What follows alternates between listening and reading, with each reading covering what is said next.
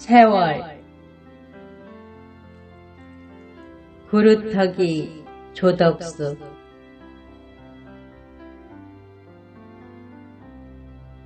불어오는 갈바람에 소리 없이 낙엽이 우수수 떨어지고 우둠지에 매달린 나뭇잎은 찬바람에 행여 떨어질세라 노심초사 애를 태운다.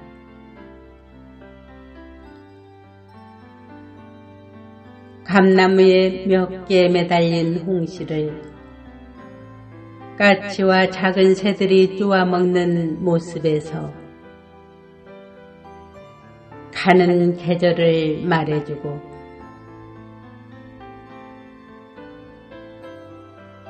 이 몸뚱이 하나 덩그러니 볼품없이 앙상하게 늙어가니 이 어찌 서글프다고 아니할 수 있겠는가.